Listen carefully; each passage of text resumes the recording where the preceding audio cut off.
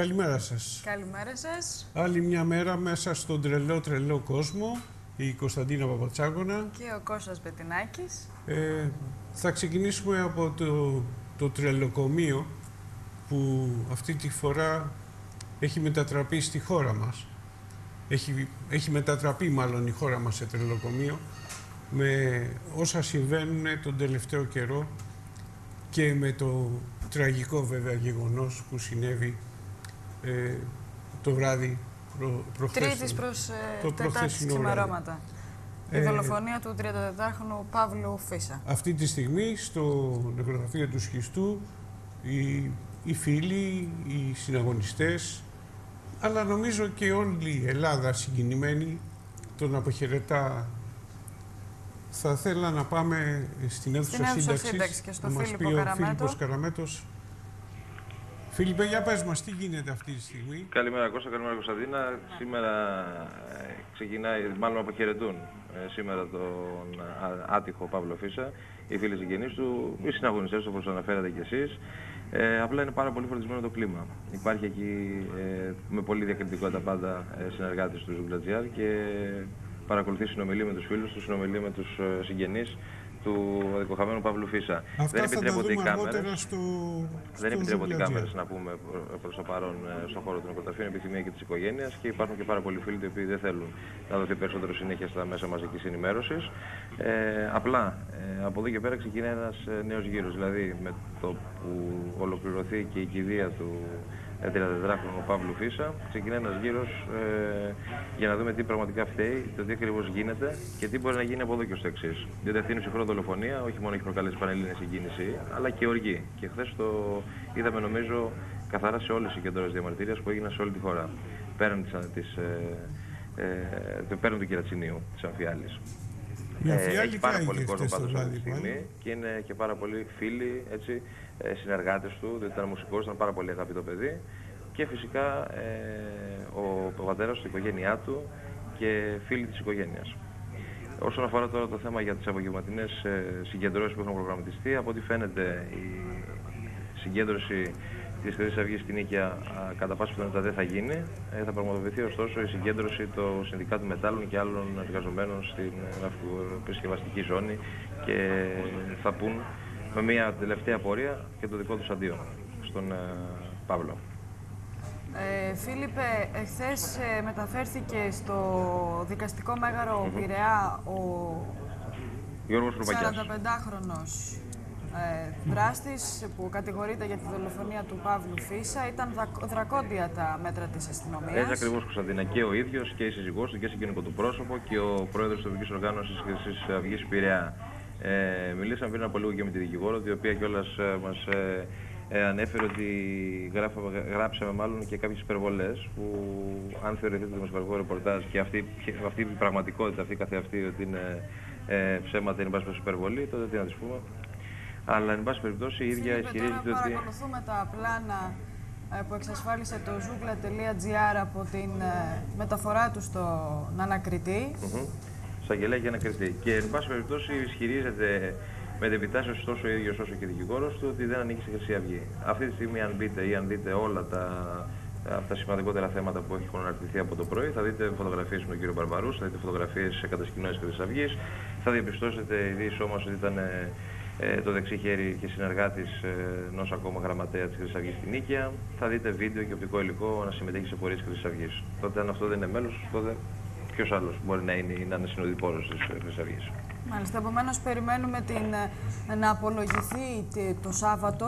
Το πρωί του Σαββατό 9 η ώρα είναι Δηλαδή, προγραμματισμένο. ε, ε, στον εισαγγελέα είπε ότι ήταν η κακιά ώρα, ας πούμε. Ναι, ότι ήταν σε στάση άμυνας και ότι εν πάση περιπτώσει δεν ανήκει στο συγκεκριμένο πολιτικό χώρο. Τώρα καταλαβαίνω ότι κάτι ε, σε, ε, ε, Ε, μεσολάβησε. προσπαθούν προσπαθούν Έτσι. να το, Κάτι να το μεσολάβησε μαζέψουν. διάμεσα, ναι, ναι. Και αρνήθηκε, ενώ το πρωί είχε πει ότι ήταν μέλος της Χρυσής Αυγής. Αργότερα στον εισαγγελέα υποστήριξε ότι επισκέπτεται τα γραφεία της Χρυσής Αυγής 5 έως 10 φορές την, ε, το μήνα και ότι διατηρεί απλά μια, έτσι, μια φιλική σχέση με το κόμμα. Τίποτα παραπάνω. Μάλιστα, τώρα ε, στην υπόλοιπη Ελλάδα ε, πραγματοποιήθηκαν αν- αντιφασιστικές ε, διαδηλώσεις, Πάρα πολλές μαζικές στη Θεσσαλονίκη και Κωνσταντίνα. όπου στην, και εκεί ε, δεν έλειψαν ε, Ναι. Και στη Θεσσαλονίκη υπήρξαν κάποιες μόνο μικροζημιέ στο περιθώριο της συγκέντρωσης, στην Πάτρα, στο Βόλο, ήταν λίγο πιο ειρηνική, στη Λάρισα, στο Ηράκλειο Κρήτης. Στα Χανιά υπήρχε, υπήρξε μάλλον μεγαλύτερη ένταση έξω από το γραφείο της Χρυσής Αυγής, όπου πέρασε εκεί η πορεία.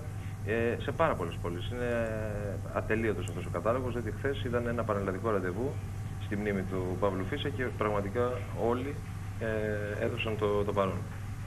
Μάλιστα. Φίλιππε, για ό,τι νεότερο, σε ευχαριστούμε πάρα πολύ. Όποια εξέλιξη υπάρχει, θα μιλήσουμε ξανά. Να είσαι καλά. Ε, εγώ σε αυτό το σημείο θέλω να δούμε ένα βίντεο που είχαμε ανεβάσει στη Ζούγκλα GR από το αυτοκίνητο ενός βουλευτή της χρυσής Αυγής με τον οποίο υπήρξε και κάποιο θέμα με την... Ε, να το δούμε το βιντεάκι.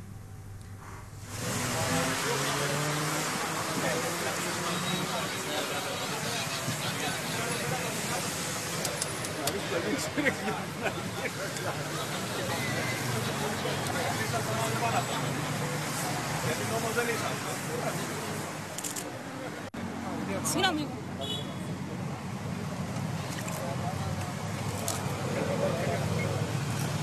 Όπως βλέπετε, ε, οι πινακίδες του αυτοκινήτου, δεν μας ενδιαφέρει τι μάρκα είναι, ε, είναι καλυμμένες. Δηλαδή, έχει μπει ένα ειδικό προστατευτικό κάλυμα επάνω από τις καλε, ε, πινακίδες. Ε, μία, όχι παράβαση, είναι μία ε, ε, πράξη που την οποία τη θεωρώ το να κυκλοφορείς με καλυμμένες πινακίδες να μην κυκλοφορείς με πινακίδες, να πεις ότι την έχει πάρει τροχέα κτλ. είναι άλλο και άλλο να τις έχεις κουκουλώσει τις πινακίδες. Το παράδοξο είναι ότι ο, ο αστιφύλακας που του έκοψε την κλίση του έδωσε μετά τις πινακίδες γιατί του είπε ότι είναι βουλευτής, είναι ο κύριος Ηλιόπουλος, είναι βουλευτής της Χρυσής Αυγής. Φαίνεται αυτή η ιστορία πλέον με τους βουλευτές, δεν με ενδιαφέρει το ότι ήταν της, Χρυσή, της Χρυσής Αυγής, είναι, ε, ας το πούμε, σύμπτωση. σύμπτωση. Αλλά αυτή η ιστορία ότι οι βουλευτές τυχαίνουν κάποιας άλλης ε, μεταχείρισης από τα όργανα, δηλαδή όταν έρχονται σε μένα και με ρωτάνε γιατί δεν φοράω ζώνη και εγώ φοράω ζώνη αλλά φοράω και μαύρη μπλούζα και δεν φαινότανε, και του είπα και εγώ θρασίτατα να βάλεις γυαλιά, ε, ε, με ενοχλεί αυτή η ιδιαίτερη μεταχείριση. Εν πάση περιπτώσει, το θέμα της ε, ε, νεοναζιστικής τρομοκρατίας, όπως το χαρακτηρίζουν τα διεθνή μέσα, θα απομονώσω τις εκτενείς αναφορές των γερμανικών μέσων ε, για τη δολοφονία του 34χρονου Παύλου Φίσα. Θέλω να δείξουμε τη φωτογραφία που δείχνει τις δύο γριούλες με τις πατάτες από ένα από, τα, ε, από τις λαϊκές αγορές της ε, Χρυσής Αυγής και να θυμίσω ότι σε, ε, αν βγάζαμε, να βγάλουμε το τέτοιο να φέρνουν οι πατάτες. Ωραία. Ε, θυμίζω ότι η Χρυσή Αυγή έχει ιδιαίτερη ευαισθησία στις ηλικιωμένες και ιδίως σε περιοχές που υπήρχαν επεισόδια όπως στο κέντρο της Αθήνας ε, πουλούσαν προστασία στους ηλικιωμένους ε, προσπαθώντας έτσι να, να δημιουργήσουν μια άλλη εμφάνιση από αυτή που πραγματικά κρύβεται. Η Συντόιτσε Zeitung του Μονάχου επιγράφει το ρεπορτάζ της «Δολοφονία αριστερού ακτιβιστή σοκάρει την Ελλάδα». Εδώ και καιρό γράφει η εφημερίδα «Η ακροδεξιά Χρυσή Αυγή βάλει εναντίον των μεταναστών, ομοφιλοφίλων και αριστερών». Τώρα ένας οπαδός τους μαχαίρωσε ένα αριστερό ράπερ μετά από μια πολιτική συζήτηση. Έτσι το λέει και η γερμανική εφημερίδα.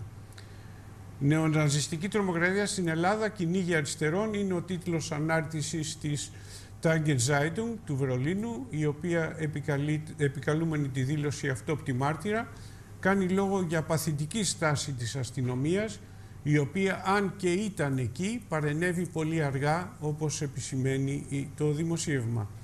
Η Neue Zirkel Zeitung εστιάζει στο ότι ο 45χρονος ακροδεξιός δολοφόνος είναι μέλος Χρυσής Αυγής ενώ η αυστριακή Kleine Zeitung υπογραμμίζει ότι στην Ελλάδα αυξάνεται, ε, αυξάνονται τελευταία τα περιστατικά ακροδεξιάς βίας. Ε, η Stuttgart Zeitung εκφράζει ανησυχίες για το ενδεχόμενο η οικονομική κρίση και τα μέτρα αντιμετώπισης της να οδηγήσουν στη ριζοσπαστικοποίηση της ελληνικής κοινωνίας. Εάν πει κάποιος σε κάποιον αόματο ότι ξαφνικά βρήκε το φως του, τότε συχνά το αποδίδει στις προσευχές και θεωρεί ότι η προσευχή φέρνει και την υγεία. Επισημαίνει ο σχολιαστής της εφημερίδας, έτσι έχει γίνει και με την Ελλάδα. Η χώρα βρίσκεται στο δρόμο της εξυγίανσης των οικονομικών, όπως ε, εξήγηλε ο Πρωθυπουργός, αλλά η αλήθεια είναι ότι πολλοί Έλληνες έχουν συμφιλωθεί με την τύχη τους. Στις τελευταίες δημοσκοπήσεις γίνεται σαφές ότι η χώρα είναι διαιρεμένη ανάμεσα στην άκρα δεξιά και στην άκρα αριστερά. Στην τρίτη θέση του πολιτικού χώρου βρίσκεται το νεοναζιστικό κόμμα Χρυσή Αυγή. Στο κέντρο όμως υπάρχει ένα κενό που όλο και μεγαλώνει, παρατηρεί η εφημερίδα. Εκείνο που θέλω να επισημάνω είναι αυτή και ε, από ένα σχόλιο που διάβασα σήμερα στο Ποντίκι. Αποκαλεί τον ε, βουλευτή και σύμβουλο από το περιβάλλον του Πρωθυπουργού Γενίτσαρο, τον κύριο Λαζαρίδη, ο οποίος επιμένει σε αυτή τη θεωρία των δύο άκρων. Ζούμε σε μια περίοδο που οι παλιότεροι, βέβαια εμείς δεν την έχουμε ζήσει ακόμα και εμείς οι παλιότεροι, αλλά έχουμε ακούσει τις αφηγήσεις τι συνέβαινε με το εμφυλιοπολεμικό κλίμα στην Ελλάδα.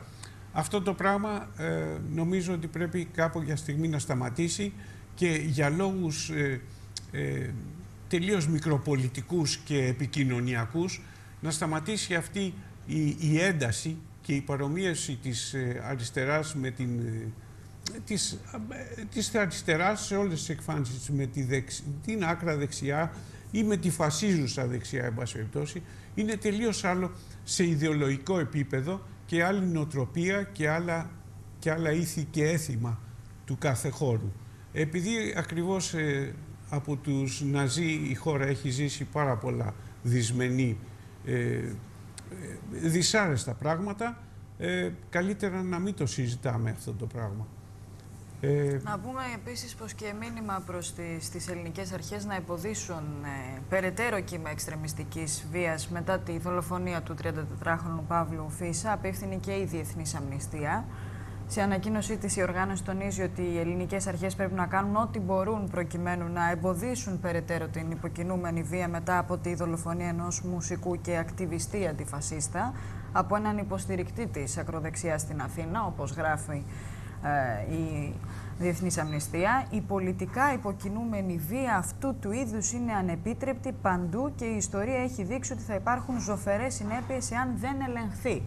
Οι ελληνικές αρχές πρέπει να στείλουν ένα ξεκάθαρο μήνυμα ότι οι επιθέσεις σαν αυτή δεν θα γίνουν ανεκτές και το άτομο ή τα άτομα που ευθύνονται θα οδηγηθούν στη δικαιοσύνη. Ε, δήλωσε η αναπληρώτρια Τσεζέρκα Τιγκάνη, διευθύντρια του προγράμματος της Διεθνούς Αμνηστίας για την Ευρώπη και την Κεντρική Ασία. Οι ελληνικές αρχές ε, προσθέτει πρέπει να σταματήσουν αυτό το επικίνδυνο κύμα πριν οδηγήσει σε περισσότερες παραβιάσεις ανθρωπίνων δικαιωμάτων, οι οποίες αποτελούν σοβαρή απειλή για την ασφάλεια των πολιτών και τη δυνατότητά τους να εξασκούν το δικαίωμα στην ελεύθερη έκφραση. Οι άνθρωποι θα πρέπει να μπορούν να εκφράζουν τις πολιτικές τους πεπιθήσεις χωρίς φόβο σωματικής βίας. Ε, και επειδή θα θέλα, είχαμε φτιάξει διαφορετική τη σειρά, θα ήθελα να πηδήξουμε λίγο τη σειρά και να πάμε σε ένα ε, που το θεωρώ πάρα πολύ σημαντικό θέμα. Ε, το εξετάσαμε και στη χθεσινή εκπομπή και σε προηγούμενες εκπομπές και θα το εξετάζουμε με κάθε ευκαιρία για να θυμίζουμε τι έχει τραβήξει αυτός ο τόπος από τους νεοναζί. Λοιπόν, με έκπληξη διάβασα ε, σημερινό δημοσίευμα στην Deutsche, ε, στην Deutsche Welle που αναφέρει ότι ο αρχηγός του κόμματος της αριστεράς στη Γερμανία, ένα κόμμα το οποίο δεν έχει κατορθώσει να πείσει βέβαια το γερμανικό κοινό. Ε, η αντιπροσώπευσή του ήδη στη Βαβαρία δεν ε, έγινε εφικτή γιατί δεν κατόρθωσε να φέρει το 5%. Αγωνίζεται, ε, είναι ένα περιθωριακό κόμμα και στην Ομοσπονδιακή Βουλή. Εν πάση περιπτώσει, ο πρόεδρος του κόμματος της αριστεράς, Μπερτ Ρίξιγκερ, τον βλέπουν στη φωτογραφία, δεν διαψεύδει το όχι που ε, είπε για την επιστροφή του κατοχικού δανείου στην Ελλάδα. βουλευτές όμως του κόμματός του έχουν κρατήσει αποστάσεις.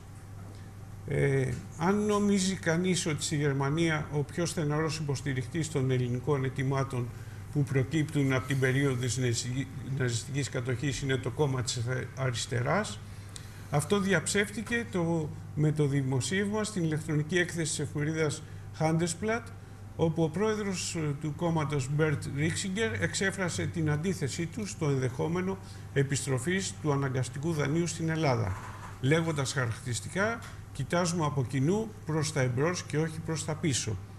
Το παράδοξο είναι βέβαια ότι ε, η, στάση, η, στάση αυτή του Ρίξινγκερ, ε, η οποία είναι παράδοξη για μας, αλλά όχι για τα, για τα γερμανικά πράγματα, προσπαθεί και αυτός να αντλήσει ε, από τη δυσαρέσκεια που επικαλείται και η Μέρκελ πολλές φορές για, τα, για τη χορήγηση δανείου στην Ελλάδα. Αλλά μην ξεχνάμε ότι ο, ο, ο Μπερντ Ρίξινγκερ θα είναι ένας από τους βασικούς συνομιλητές που θα πάει ο, ο πρόεδρος του ΣΥΡΙΖΑ, ο κύριος Τσίπρας, στο Βερολίνο.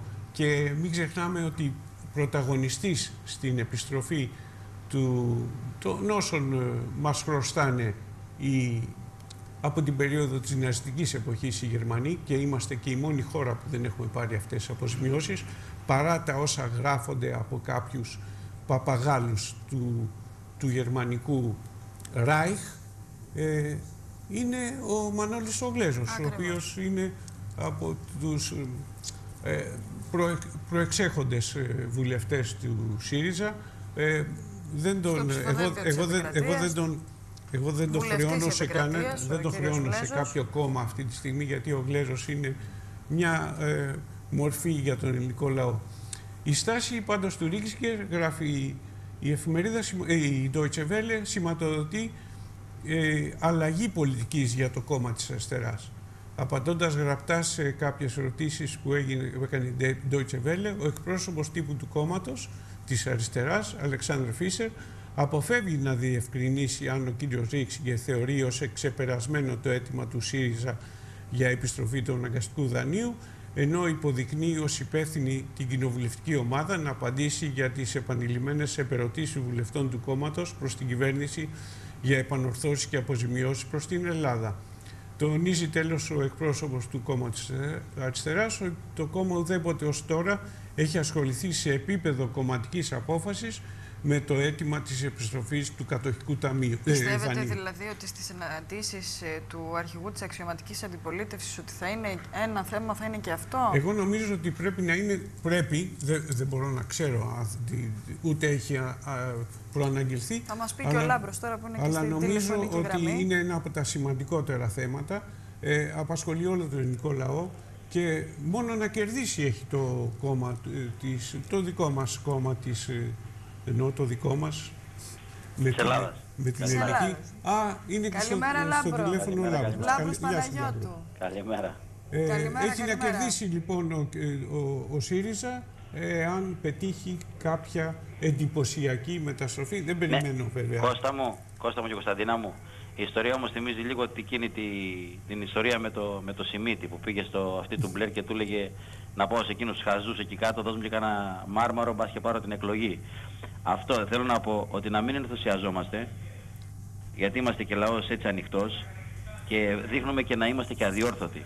Να μην ενθουσιαζόμαστε με την έννοια ότι ήρθαν οι Ρώσοι, θα κάνουν επενδύσεις, οι Ρώσοι οι Ρώσοι. Ήρθαν οι Γερμανοί να μας σώσουν, οι Γερμανοί οι Γερμανοί, οι Άγγλοι και από ιστορικά μετά μας άφηναν και άφησαν και στα χέρια της κυρίας Ρεπούση να μιλήσει για συνωστισμό τη, την ιστορία ολόκληρη.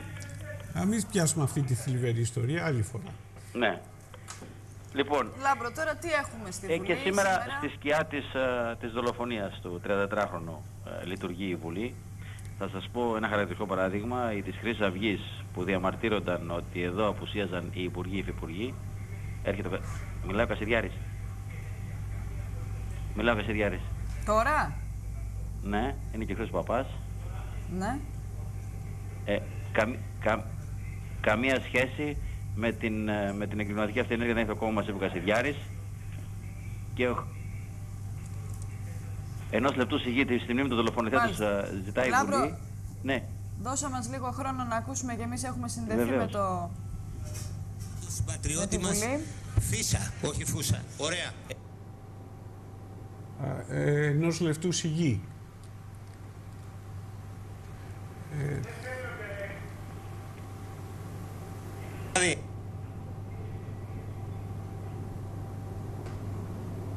Αν δεν κάνω λάθος μιλάει ο κύριος ένα Παπαδημούλης, λεπτό. Λάμπρο. Αποσύρετε την αίτηση.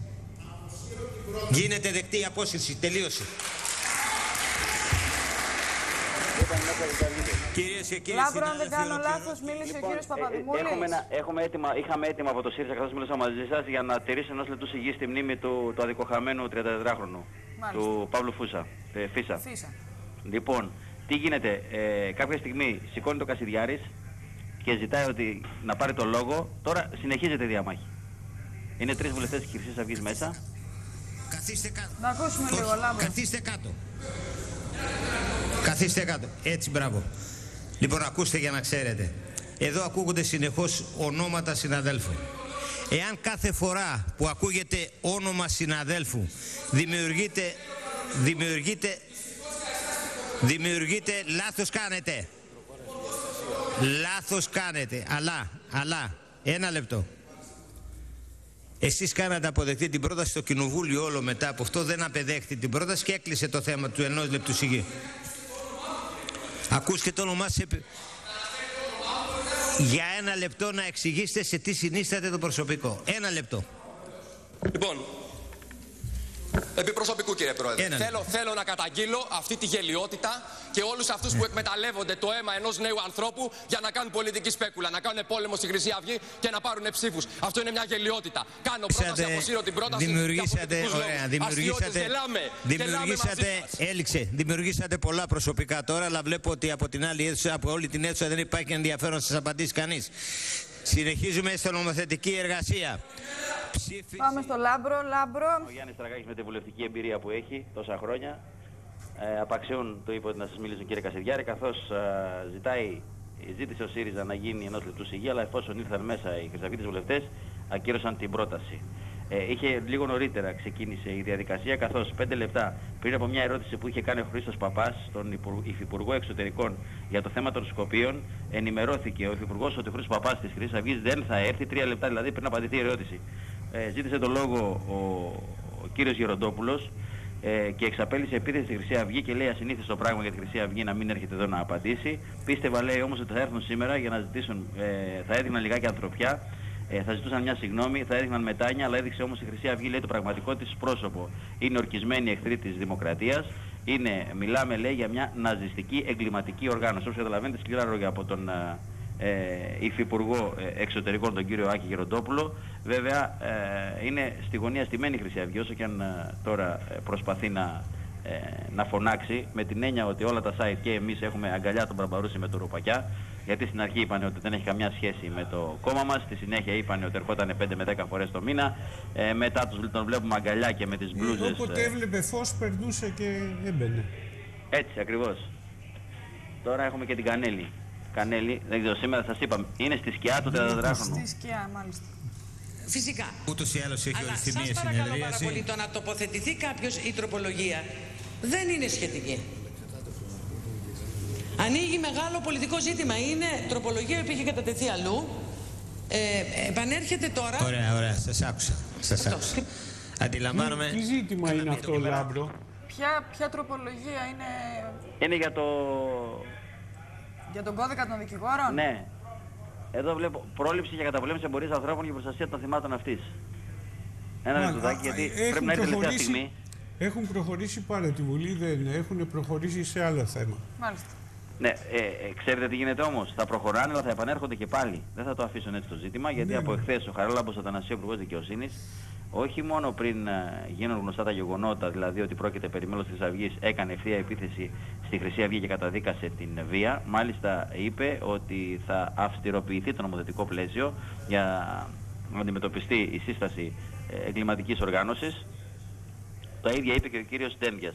Βλέπουμε εδώ ότι πέρα από τις διαφορές που έχουν, γιατί χθες είχαμε και νέα κόντρα ανάμεσα στο ΣΥΡΙΖΑ και στη Νέα Δημοκρατία, ανέβασαν και οι δύο τους τόνους. Η επίθεση ξεκινάει από τον Χρήστο το Λαζαρίδη που είπε ότι ευτέλησε η ζωή του Κωνσταντοπούλου το κοινοβούλιο. Άρα λοιπόν αυτές οι εντάσεις τροφοδοτούν την ένταση της Χρυσής Αυγής. Οπότε πάμε στη βία ε, και από εκεί θα έχουμε φόνους. Άρα λοιπόν α ίσον β, β ίσον γ, άρα και ο α είναι ίσον με το, με το γ και έγινε τη κακομοίρα. Η ζωή Κωνσταντοπούλου έδειξε τον Πρωθυπουργό ως ηθικό αυτούργο αν δεν συμβεί κάτι μαζί με τον Χρήστο Λαζαρίδη. Ο Λαζαρίδης επαλήφθηκε και λέει ότι ο ΣΥΡΙΖΑ είναι εκτός συνταγματικού τόξου από τη στιγμή που δεν καταδικάζει φαινόμενα όπως αυτά τι κουριές. Και όπως καταλαβαίνετε, εδώ υπάρχει μια διαμάχη. Όμως, οφείλουμε να ομολογήσουμε ότι απέναντι στη Χρυσή Αυγή είναι κοινή τους πλέον η στάση. Κοινή τους στάση. Δηλαδή, κήρυξαν τον πόλεμο στη Χρυσή Αυγή καθώς θεωρούν ότι δεν πάει άλλο. Όμως, ξεχνάνε μια μεγάλη κουβέντα που είπε ο εγκληματολόγος, ποινικολόγος και βουλευτής της Δημοκρατικής Αριστεράς, που εμένα μου έκανε μεγάλη εντύπωση, ε, ε, Γιάννης Πανούσης. Είπε χαρακτηριστικά σε μια ομιλία που είχαν για τα θέματα του ναζισμού, ανά τη χώρα και αν την Ευρώπη, ότι η Χρυσή Αυγή έχει εκολαστεί μέσα στην κοινωνία και η κοινωνία είναι αυτή που θα δώσει τη λύση. Άρα λοιπόν μην. Ε, μην κλαίνε, μην οδύρονται και ας ζουν τα, ε, τα φαινόμενα ε, κάτω από μια, ένα άλλο πρίσμα, κάτω από μια άλλη βάση. Η κοινωνία θα δώσει τη λύση γιατί αυτή δεν μπορεί να δώσει τη λύση. Εγώ όσο, αυτό πιστεύω και συμφωνώ με τον κύριο Πανούση. Όσο Παρακαλώ. φουσκώνουν όμως, Λάμπρο μου, την ιστορία αυτή και όσο γίνονται έτσι επιθετικοί, ε, αναπτερώνουν και την ε, αξία, ας πούμε, σε εισαγωγικά το αξία, αυτού του μορφώματος, αυτού του κόμματος, εν πάση περιπτώσει, ναι. το οποίο επικαλείται τη δυσφορία δηλαδή... και τη δυσαρέσκεια τη λαϊκή που του, κάποιος του έδωσε κάποια ψήφο και οι πολιτικοί καταδίκασαν, ας τελειώνει εδώ το θέμα. Ακριβώς. Ε, ακριβώς. Ε, ε, η κοινωνία είναι αυτή που θα δώσει τη λύση. Η κοινωνία ε, θα δει, θα ερμηνεύσει, θα καταλάβει τι έγινε ακριβώς με τον, ε, με τον άδικο χαμό του 44χρονου και θα δούμε και τα αποτελέσματα. Πάντως, εγώ βλέπω για αυτή τη φορά η Χρυσή Αυγή είναι κολλημένη στον τοίχο. Δηλαδή, τα αστιάκια όχι μόνο ε, πήραν ε, τέλος, αλλά τα πράγματα είναι πολύ τραγικά πλέον. Το κατάλαβαν και αυτοί. Και θα συμφωνήσω εδώ ε, χαρακτηριστικά με αυτό που είπε η Έλενα Ράπτη της Νέας Δημοκρατίας. Ότι ο Μιχαλολιάκος εξέτρεψε ένα τέρας το οποίο θα γυρίσει τώρα και θα τον φάει. Και με αυτό συμφωνώ. Μάλιστα. Ας το ελπίσουμε. Αυτά από εδώ. Σήμερα όπως καταλαβαίνετε έτσι θα πάμε. Εντάξει, ευχαριστούμε πάρα πολύ. Λάμπρο, καλή δουλειά, καλή συνέχεια. Ε, ήθελα να πω και κάτι τελευταίο, αλλά το ξέχασα. Δεν έχει νόημα, αυτό το ξέχασα. Αύριο πάλι. Πάντως, εγώ θέλω να σου πω ότι ο κύριος ε, Στουρνάρας, αν μου επιτρέπεις μια τελευταία. Ναι. Ε, ε, είδηση πως ναι. ανέφερε χθες μετά τη συνάντηση του που είχε ο, ο Πρωθυπουργός κ. Αντώνης Σαμαράς με τον Αντιπρόεδρο της Κυβέρνησης και Υπουργό Εξωτερικών τον κύριο Βενιζέλο μετά τη συνάντηση αυτή ο κ. Στουρνάρας βγήκε και είπε ότι είμαστε σε τροχιά ανάκαμψης και μυρονού τον άντρα της με τους προμαδευτάδε. Να είστε ναι. καλά, buongiorno, buongiorno, buongiorno. Καλημέρα, Λάμπρο. Καλημέρα, καλημέρα, ας καλημέρα. κάνουμε ένα μικρό διάλειμμα πριν να συνεχίσουμε την εκπομπή μας.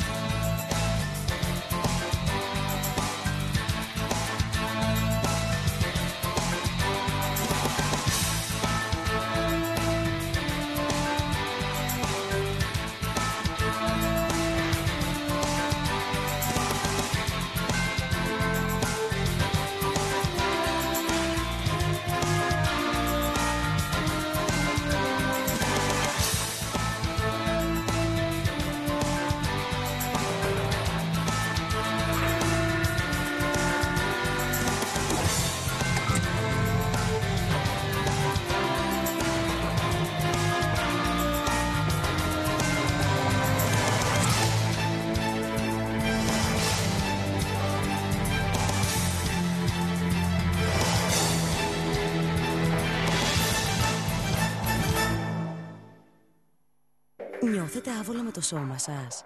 Υποδεχτείτε την τεχνολογική επανάσταση στην καταπολέμηση της κυταρίτιδας. Νέο καλσόν Nanobionic Anti-Cellulline. Μετατρέπει τη θερμική ενέργεια που εκπέμπει το ανθρώπινο σώμα σε άπο υπέρυθρες ακτίνες και τις επιστρέφει πίσω σε αυτό. Αποτέλεσμα, μείωση της εμφάνισης της κυταρίτιδας, λία και καλή γραμμή εμφάνιση. Αγαπήστε ξανά το σώμα σας με το νέο καλσόν Nanobionic Anti-Cellulline.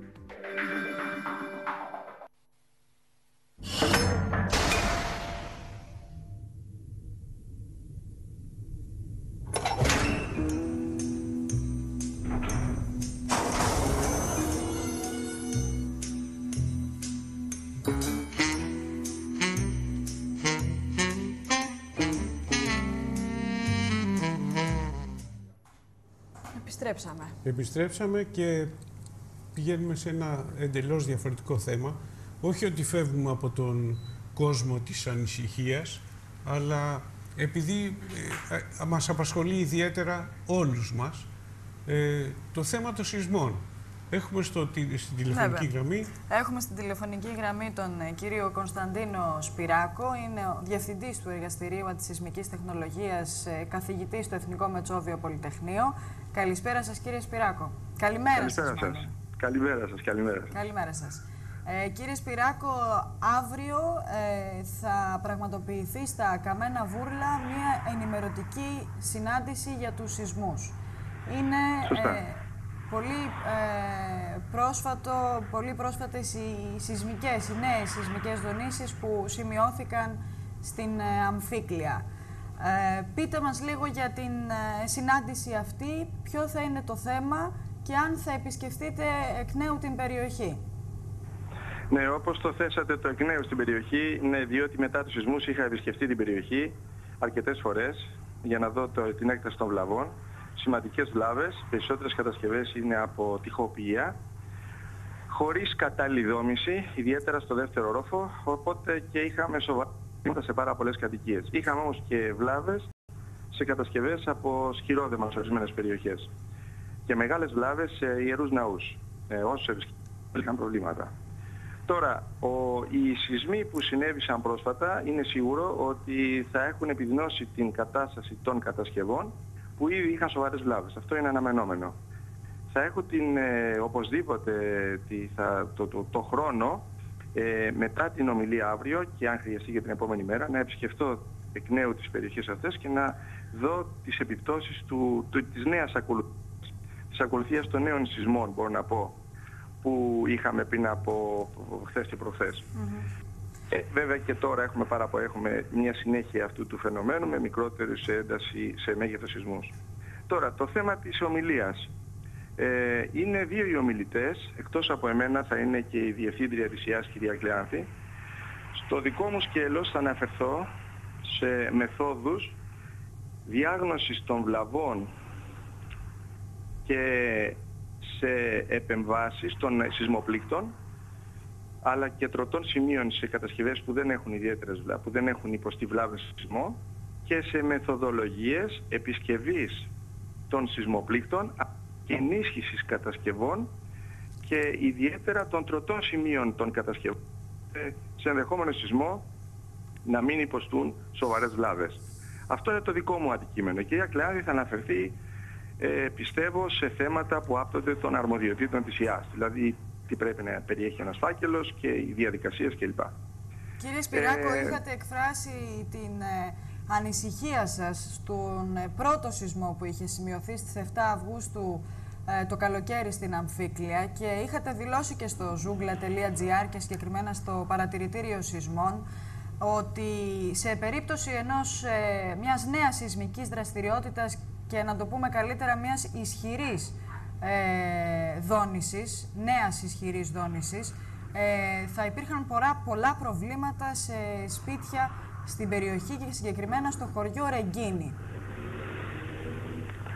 Κοιτάξτε, δεν είναι μόνο το χωριό Ρεγκίνη καταρχήν, είναι και άλλα χωριά. Το Ρεγκίνη το μεγαλύτερο από, από, από, τα, από τις ε, περιοχές που έχουν πληγεί, από, από, από, θέμα πληθυσμού, αλλά είναι και άλλα, και άλλες, και άλλα χωριά. Η τα οποία έχουν ε, υποστεί σημαντικές βλάβες. Οι συμπεριλαμβανομένες και της Αμφίκλειας. Και στην Αμφίκλεια έχουμε αρκετά κτίρια με βλάβες. Όπως είναι η Ιδρυμαία, όπως είναι η Μεντενίτσα, το Μόδι κλπ.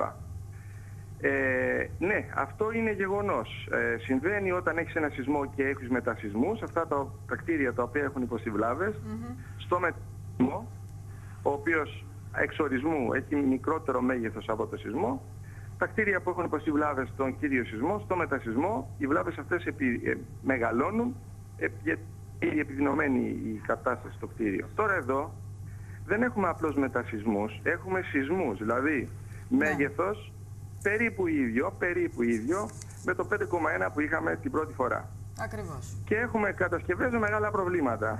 Λοιπόν, οπότε είναι αναμενόμενο ότι αυτές θα έχουν πολύ σοβαρότερα προβλήματα Μάλιστα. από ό,τι είχαμε δει πριν. Αν θέλετε, Ε, κύριε είχα, Σπυράκο, είχα, ναι. επισημάνει, είχα επισημάνει γεγονός ότι όπου είχα δει κατασκευές και είχα μιλήσει με τους κατοίκους και με προέδρους των, των χωριών αυτών, ότι όπου επισημαίνει η ΑΣ ότι θα πρέπει οι κάτοικοι να μην χρησιμοποιούν την οικία τους, όντως να μην τη χρησιμοποιούν. Δυστυχώς όμως, επειδή αυτή είναι η πρώτη κατοικία και επειδή σε αρκετούς και επειδή η περιοχή έχει οικονομικά προβλήματα, και ποιος δεν έχει να πει σήμερα, αλλά αυτή η περιοχή έχει ιδιαίτερα προβλήματα της ενασχόλησης των κατοίκων. Πολλοί άνθρωποι δεν έφυγαν, τα χρησιμοποιούν. Λοιπόν, ε, αυτό είναι κάτι το οποίο πρέπει να το κοιτάξει η πολιτεία αλλά και οι ίδιοι να φροντίσουν. Πλέον είδαν ότι ο σεισμός γενικά δεν ολοκληρώθηκε. Έτσι, υπάρχουν, υπάρχει εδώ μια δεύτερη ακολουθία και επομένως θα πρέπει να απομακρυνθούν. αυτές Μάλιστα. τις Κύριε κατοικίες. Σπυράκο, αν θέλετε να μείνετε στην ε, ε, γραμμή, γιατί έχουμε και τον ε, κύριο ε, Λέκα, τον καθηγητή δυναμικής τεκτονικής εφαρμοσμένης με- γεωλογίας ε, του Εθνικού Καποδιστριακού της ε, Πανεπιστημίου Αθηνών. Κύριε Λέκα, καλημέρα σας. Καλημέρα σας, καλημέρα στον κύριο Σπυράκο. Καλημέρα, Γέλεκα.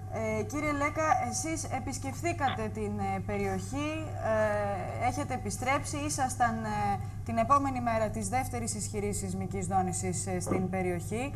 Είδατε ε, την, ε, τα σπίτια, είδατε τι ακριβώς γίνεται εκεί, αλλά και μιλήσατε και με κόσμο που ε, σας ε, μετέφερε την ανησυχία του. Κοιτάξτε, ε, ήμουνα και στον πρώτο σεισμό και στο δεύτερο και μάλιστα μερικές ώρες μετά με το κλιμάκιο του Οργανισμού Αντισημικού Σχεδιασμού και Προστασίας και ο στόχος ήταν ε, να καθησυχάσουμε τον κόσμο, ε, να το εξηγήσουμε τι συμβαίνει ε, γιατί οι φήμες που κυκλοφορούν ε, είναι ασύλληπτες. Ε, κάποιοι μιλάνε για μια ρίχτερ, κάποιοι μιλάνε για βύθιση περιοχής, κάποιοι μιλάνε Ίσως για... είναι και πρόσφατο ε, το, η έρευνα και η μελέτη που δημοσιεύτηκε στην εφημερίδα Le Monde για, τα, Α- ακριβώς, για το σεισμό ακριβώς, των ακριβώς. 9 Ρίχτερ. Ε, είναι όλα αυτά τα δημοσιεύματα και οι φήμες οι οποίες κυκλοφορούν και οι οποίες βεβαίως ε, ε, ανησυχούν τους κατοίκους. Τους κατοίκους οι οποίοι δεν οφείλουν να ξέρουν, δεν είναι όλοι ε, επιστήμονες. Ε, ακόμα και οι επιστήμονες δεν οφείλουν να ξέρουν τα θέματα τα αντίστοιχα. Αλλά πόσο μάλλον ε, οι, οι, οι, οι κάτοικοι των χωριών οι οποίοι είναι περισσότεροι ηλικιωμένοι, οι περισσότεροι δεν έχουν κάποια εμπλοκή με την επιστήμη και δεν οφείλουν να ξέρουν. Όταν βέβαια ακούν όλα αυτά τα θέματα περί σεισμών, λιμών και καταποντισμών ανησυχούν. Και είχαμε το, το βαρύ έργο να καθησυχάσουμε τους κατοίκους ε, όχι να τους πούμε ότι δεν θα γίνει σεισμός, ότι εν πάση περιπτώσει αυτό είναι, ε, είναι αντιεπιστημονικό καταρχάς, αλλά κυρίως να τους εξηγήσουμε το φαινόμενο, να εξηγήσουμε πώς εξελίσσεται, να εξηγήσουμε τι πρέπει να προσέχουν, να εξηγήσουμε αυτό που είπε και ο κύριος Σπυράκος προηγουμένως, ε, ποιες κατασκευές, εν πάση περιπτώσει, ενδεχομένως να εμπεριέχουν κάποιο κίνδυνο, ε, όλα αυτά τα φαινόμενα και έτσι, ούτως ώστε, ε, έτσι να αντιμετωπίσουν καλύτερα το φαινόμενο. Και να βέβαια ε, όλη αυτή τη δύσκολο, δύσκολη περίοδο που περνάνε ε, να μπορέσουν να έχουν πιο πολύ δύναμη προκειμένου να μην έχουμε κάποιες ε, δευτερογενείς επιπτώσεις. Ε, αυτή ήταν η προσέγγιση που κάναμε την, τις πρώτες μέρες ε, και των δύο σεισμών. Ε, από εκεί βέβαια και πέρα ήταν ένα σωρό επιστημονικά θέματα τα οποία έπρεπε να λυθούν, έπρεπε να κατανοήσουμε εμείς οι ίδιοι πρώτα, γιατί ο σεισμός εκεί ήταν ένας δύσκολος σεισμός. Ήταν ε, στην αρχή το επίκεντρο ήταν σε μια ε, θέση, μετά μετατοπίστηκε σε άλλη θέση. Οι ζημιές δεν αντιστοιχούσαν σε αυτό που ξέραμε μέχρι τώρα. Ε, ήταν μακριά από το επίκεντρο αρχικά. Ε, ε, κάποια Είχαμε φαινόμενα όμως ήταν το- περίεργα και το δύσκολα. ίδιο ακριβώς ε, φαινόμενο. Δηλαδή έγινε ένας μικρός σεισμός, ε, μικρός ε, θεωρητικά, Αρχικά, αρχικά, άνω ναι. των ε, 4,5 ρίχτερ και ε, ταυτόχρονα πάλι με το ίδιο επίκεντρο ε, ένα μεγαλύτερο. Δηλαδή Κοιτάξτε, ε, αν σε μπορώ να απόσταση κάνω μια- λίγο λεπτών σημειώθηκαν και οι δύο όπως είχε γίνει και στην, ε, στο πρώτο. Αν ε, μπορώ να κάνω μια παρέμβαση σε αυτό ναι, το κύριε θέμα. Σπυράκο. Είναι, το μέγεθος βέβαια παίζει σημαντικό ρόλο, η απόσταση σημαντικότατο ρόλο, αλλά κοιτάξτε τι γίνεται. Οι κατασκευές αυτές και σε ένα σεισμό 4,4 ας πούμε, σε μια μικρή σχετικά απόσταση, θα επάθαιναν βλάβες. Δηλαδή μιλάμε για κατασκευές οι οποίες δεν είχαν στοιχειώδη στοιχεία ώστε να συμπεριφερθούν σωστά σε, σε παρένθεση, αν, αν θέλετε, σε σεισμό. Δηλαδή, λίθινες κατασκευές, χωρίς διάζωμα επάνω, χωρίς σύνδεση των εξωτερικών τείχων με τους εσωτερικούς, δηλαδή και οι αδιάφορες κατασκευές με κοντά υποστηλώματα, δηλαδή αυτές οι κατασκευές ήταν, είναι ιδιαίτερα τροτές σε σεισμό. Επομένως αυτός ο 5,1 για αυτές τις κατασκευές είναι μεγάλος σεισμός. Αν δούμε δηλαδή την επίπτωση που έχουν. Για αυτές. Για Κύριε Σπυράκο, ναι. Συγγνώμη, ναι, αλλά ναι. οι πληροφορίες που ε, μεταδόθηκαν από τα μέσα, γιατί δεν μπόρεσα να πάω εκεί πέρα φυσικά, έλεγαν ότι και καινούριες κατασκευές υπέστησαν σοβαρές ζημιέ. Μα αναφέρθηκα σε αυτές, από σκυρόδεμα, καινούριες κατασκευές. Αλλά και αυτές όμως που έπαθαν βλάβες, τουλάχιστον αυτές που έχω δει εγώ και έχω εξετάσει, είχαν στοιχειώδη προβλήματα τροτότητας, κοντά υποστηλώματα. Ε, όχι συνδετήρες στους κόμβους, όχι συνδετήρες στα υποστηλώματα, μεγάλα ανοίγματα, τείχους πλήρωσης που δεν ήταν καλά σφινωμένοι, χωρίς να έχουν μεταξύ τους σύνδεση. Δηλαδή, ε, προβλήματα στοιχειώδη, κατά την άποψή μου και πιστεύω των πολιτικών μηχανικών, για τη σωστή συμπεριφορά μιας κατασκευής. Επομένως και αυτές αστόχησαν. Δεν ήταν σύγχρονες με την άποψη που σχεδιαστεί μετά το 1995, ήταν κατασκευές πρώτου 1995 από σκυρόδεμα. Έτσι, με διατάξεις παλαιότερες. Και σε αυτό να είμαι σαφής. Μάλιστα. Κύριε Σπυράκο, σας ευχαριστούμε πολύ. Ε, κύριε Λέκα. Παρακαλώ. Ε, πιστεύετε ότι αν απλά γινόταν ένας σεισμός 4,5 ρίχτερ και δεν γινόταν ταυτόχρονα ένας δεύτερος, ε, δεν θα υπήρχαν τόσες ζημιές; Κοιτάξτε, πάντα με ένα σεισμό έχουμε ε, μεγαλύτερες ζημιές και πάντα με κάποιο σεισμό έχουμε πάντα μεγαλύτερες ζημιές. Δηλαδή, Κάθε σεισμός ε, που ακολουθεί... το φαινόμενο επιδείνωση στην ουσία την... Ε, φυσικά δεν το συζητάμε, αλλά κοιτάξτε, ε, εδώ έχουμε να κάνουμε όπως σε κάθε σεισμό, ιδιαίτερα εδώ που είναι μια πολύπλοκη περιοχή ε, και πολύ δύσκολη να την προσεγγίσει κανένα γεωλογικά και σεισμοτεκτονικά, εδώ έχουμε να κάνουμε μια περιοχή που δεν παίζει το, το, το κυρία, τον κυρίαρχο ρόλο, δεν το, δεν το παίζει το μέγεθος του σεισμού. Ε, κακώς εστιάζουμε και λέμε και μερικές φορές υπάρχουν και, αντι, και αντιρρήσεις, ήταν 4,7, 4,8 και το πλήγωνα κτλ. Το μέγεθος μπορώ να πω ότι παίζει τελείως δευτερεύοντα ρόλο ε, για τις ζημιές. Η απόσταση, ζημιές, η απόσταση. Η απόσταση που σημειώνει το σεισμός δηλαδή. Είναι η απόσταση που σημειώνεται από, ένα, από μία οικιστική μονάδα σεισμός. Είναι το βάθος. Είναι το είδος του ρήγματος. Είναι ο τρόπος διάρρηξης. Είναι ο τρόπος μετάδοσης των κυμάτων. Είναι τα φαινόμενα συμβολής. Μπορώ να σας πω κάπου 30, 30 ε, λόγους για τους οποίους το μέγεθος δεν παίζει κανένα απολύτως ρόλο τις περισσότερες φορές. Μάλιστα. Κύριε Λέκα, σας ευχαριστούμε πολύ. Και εγώ σε ευχαριστώ να είστε καλά. Να είστε καλά. Να είστε καλά. Καλημέρα σας. Ε, από το σεισμό θα περάσουμε στον πόλεμο ε, και θα πάμε στη Συρία. Έχουμε καθημερινές εξελίξεις στο Συριακό. Οι τελευταίες ειδήσεις όπως βλέπω και, στο, και στα διεθνή πρακτορία, έχω μπροστά μου το, το UPI αυτή τη στιγμή, είναι ότι οι Ηνωμένες Πολιτείες ε, ε, είπαν ότι θα προωθήσουν ε, στον, στα Ηνωμένα Έθνη αυτή την απόφαση για τα χημικά. Από χτες το βράδυ το BBC αναμεταδίδει αποσπάσματα της συνέντευξης που έδωσε στο Fox News, το αμερικάνικο, ο πρόεδρος Συρίας Μπασίρα Αλάσαντ. Είναι η δεύτερη σε αμερικανικό τηλεοπτικό δίκτυο ε, συνέντευξη που δίνει μέσα σε μία εβδομάδα. Ο Σύριος Πρόεδρος διαβεβαίωσε για ακόμα μία φορά πως τα στρατεύματά του δεν χρησιμοποίησαν τα, τα χημικά όπλα. Στο Σταυροδρόμι των Χημικών είναι ο τίτλος του βίντεο που θα παρακολουθήσουμε και είναι η ανταπόκριση του ρωσικού τηλεοπτικού δικτύου RT από τη Δαμασκό. Ε, αναφέρεται στην επίσκεψη του Ρώσου Υφυπουργού Εξωτερικών Σεργέη Ριαπκόφ και τις εκεί συνομιλίες με τον Σύρο Υπουργό που βλέπουμε, ο Άλιτ Αλ Μουάλεμ, δεξιά, ε, οι επιθεωρητές του ΟΗΕ επιβεβαίωσαν τη χρήση των χημικών, αλλά στα χέρια του Ρώσου Υφυπουργού υπάρχουν στοιχεία που αποδεικνύουν ότι οι αντικαθεστωτικοί αντάρτες στη Συρία χρησιμοποίησαν τα χημικά στην επίθεση της 21ης Αυγούστου, που κορύφωσε την κρίση γύρω από τον εφήλιο στη Συρία.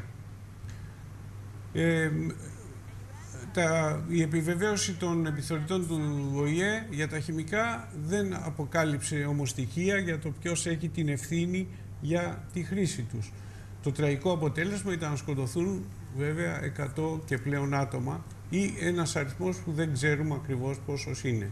Οι Ρώσοι υποστηρίζουν ότι τα χημικά είναι κατασκευασμένα από αριστέχνες και όμως αν το ερώτημα παραμένει αναπάντητο, οι δυτικοί σύμμαχοι έσπευσαν να ρίξουν τις ευθύνες στο καθεστώς Άσαντ. Σε συνέντευξή του στη ρωσική τηλεόραση ο Ριαπκόβ χαρακτήρισε την έκθεση των ειδικών επιθεωρητών του ΟΕ παραποιημένη και μονόπλευρη. Ε, οι εικόνες που βλέπουμε είναι ε, τραγικές. Βλέπουμε διάφορες πολεμικές επιχειρήσεις. Δεν έχουμε την ευκαιρία να βλέπουμε συχνά για αυτά. Αυτός είναι ο Ρώσος ε, υφυπουργός Ριαπκόφ, ο οποίος ε, ε, επιτέθηκε κατά κάποιο τρόπο στην ε, έκθεση των ειδικών επιθεωρητών του ΙΕ. Την είπε, τη χαρακτήρισε, εδώ βλέπουμε τους επιθεωρητές, παραποιημένη και μονόπλευρη. amount of information. We have posed several questions when this report was discussed among uh, Security Council members. So before uh, we begin talking on what to do next, we need to figure out why it is so and why uh, the group of UN experts is not... Όπως λέει ο Ρώσος Υφυπουργός, πριν να δούμε τι θα είναι η επόμενη κίνησή μας, θα πρέπει να αποφασίσουμε τι, τι έγινε ακριβώς. Εδώ βλέπουμε τον δημοσιογράφο Πολ Σκοτ που ε, σχολίασε στη ρωσική τηλεόραση τρία βίντεο από ένα γνωστό blogger που αποκαλείται Καφέ Μωυσής, Brown Moses και δείχνει αντάρτες με αντιασφυξιογόνες μάσκες να εκτοξεύουν χημικά. Θα το δούμε σε λίγο. Αυτό είναι το βίντεο. Το βίντεο, τα βίντεο, ένα από τα βίντεο που δείχνει ε, τα βίντεο βρέθηκαν στο κινητό τηλέφωνο αντάρτη που σκοτώθηκε πρόσφατα σε μάχη. Το, τα βίντεο έχουν ημερομηνία 21 Αυγούστου, η μέρα της επίθεσης που έκανε τον πρόεδρο Ομπάμα να πει πως ε, ε, έχουν διαβεί την κόκκινη γραμμή οι, οι, άνθρωποι του Άσαντ. Η θεωρία που προβάλλεται πάντως είναι πως το Σαρίν μεταφέρθηκε από την Τουρκία μέσω Ιράκ και υπενθυμίζεται πως δημοσιεύματα του τουρκικού τύπου τον περασμένο Μάιο υποστήριζαν ότι δύο κιλά της ουσίας σαρίν είχαν βρεθεί σε κατοικία σύρων ανταρτών μελών της Αλ-Κάιντα. Και τότε η Ρωσία είχε ζητήσει να γίνει έρευνα, αλλά οι τουρκικές αρχές είχαν αρνηθεί. Εδώ πάλι ε, βλέπουμε σκηνές από τον πόλεμο, πώς έχουν καταντήσει οι πόλεις και βλέπουμε και μερικές αποθήκες που έχουν ανακαλυφθεί με χημικά. Είναι τόσο μπερδεμένη όμως η ιστορία στη Συρία και είναι τόσο, τόσο και ο πόλεμος της προπαγάνδας που παίζεται και από τις δύο πλευρές που δυστυχώς ε, είναι πάρα πολύ δύσκολο να αντιμετωπίσεις αντικειμενικά την ιστορία. Μάλιστα.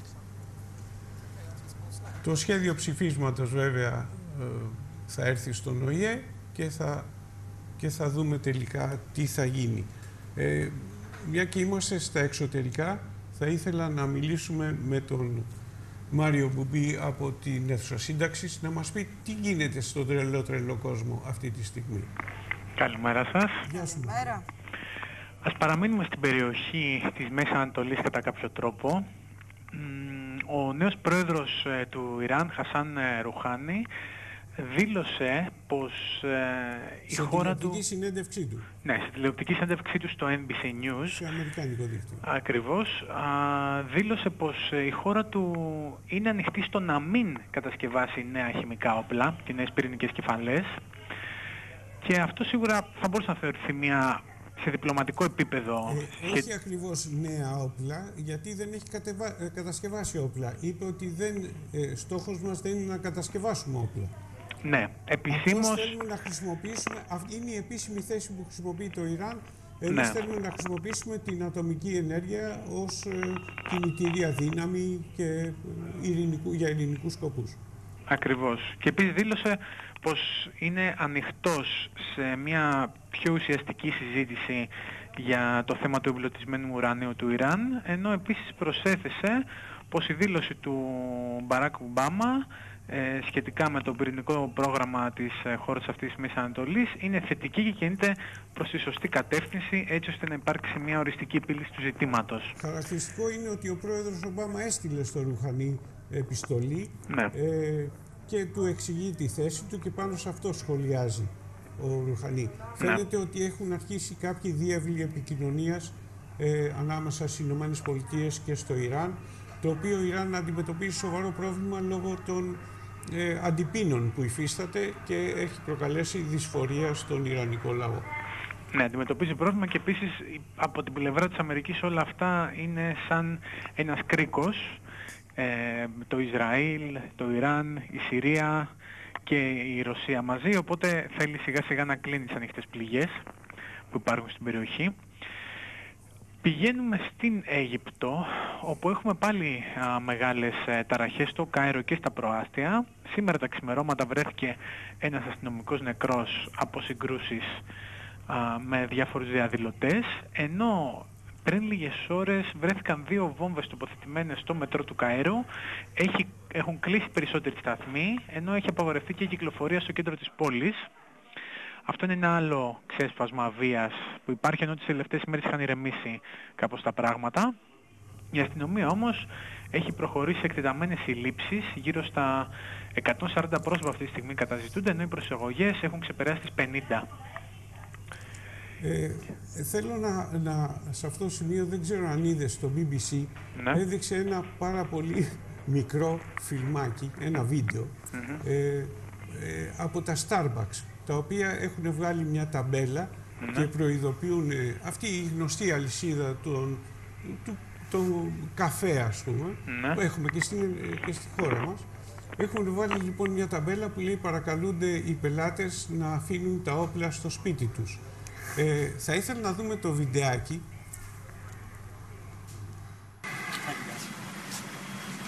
Τον ε, κύριο αυτόν που μπαίνει με ένα πολυβόλο για να πάει να πιει τον καφέ του.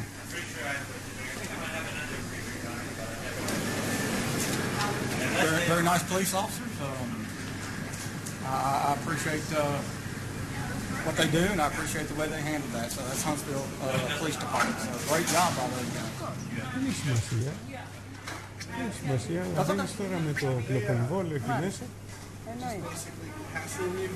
I, I wouldn't say they were hassling me. Anytime they get a call, you know, they do respond. I typically like to notify the local PD that will be out walking, exercising their Second Amendment. Uh, αυτό, αυτό το φιλμάκι μου θύμισε ε, την ταμπέλα. Πώς κοίταζε τον ναι, ναι, την, ταμπέλα, την ταμπέλα που ήταν κάποτε στα σαλούν στον Καουμπόιδο, την εποχή το, του Far West, του άγριου Far West. Ε, Μάρια, σε ευχαριστούμε πάρα πολύ. Δεν προλαβαίνουμε να πούμε και άλλα πράγματα που συμβαίνουν στον τρελό, τρελό κόσμο. Έχει αρχίσει και έχει ανοίξει ο δρόμος για την αποπεμπή του Σίλβιο Μπερνουσκόνη. Γιατί έγινε η πρώτη ψηφοφορία στην αρμόδια επιτροπή της Γερουσίας. Μια κοινοβουλευτική έδρα δεν κάνει τον αρχηγό, είπε σε τηλεοπτικό μήνυμά του ο πρώην Καβαλιέρε, ο οποίος ε, ε φαίνεται ότι ε, θα υποστεί την την τιμωρία από το Κοινοβούλιο και τελικά θα του αφαιρεθεί η έδρα. Ε, περισσότερο όμως από τον τρελό τρελό κόσμο που δεν θα σταματήσει να είναι τρελός αύριο. Αύριο. Κωνσταντίνα Παπατσάκονα, σε ευχαριστώ. Κώστας ευχαριστώ πολύ. Γεια χαρά σας.